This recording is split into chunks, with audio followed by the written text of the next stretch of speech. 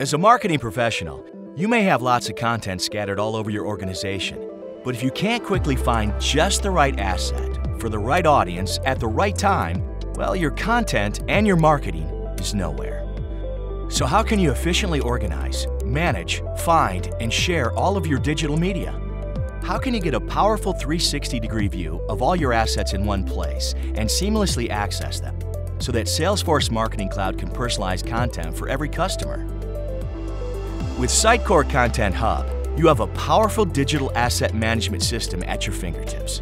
And with Sitecore Connect, you can harness that power in real time without ever having to leave Salesforce Marketing Cloud. Whether it's images, video, icons, or graphics, Sitecore DAM centralizes all your omni-channel assets and allows you to categorize and quickly search through high volumes of material.